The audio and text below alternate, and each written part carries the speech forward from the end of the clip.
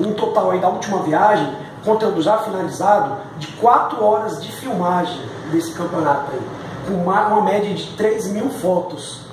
acompanhando a equipe do, do Ninho em três ou quatro torneios, é sempre quando a gente vai ao Chile. Ô Alexandre, é, no meio desse contexto todo que você passou, a gente sabe que é difícil até é, fazer uma pergunta aqui, mas né, pode passar. É, é, no meio dessas fotos ou dessas filmagens, tem alguma dessas aí que te marcou realmente em relação aos jogos? Aquela que você fala assim, pô, essa foto aqui, eu sou o Pelé das fotos.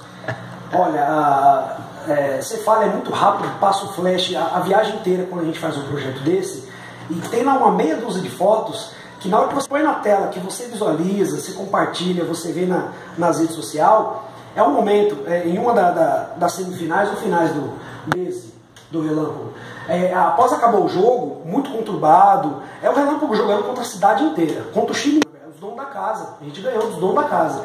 E após a vitória,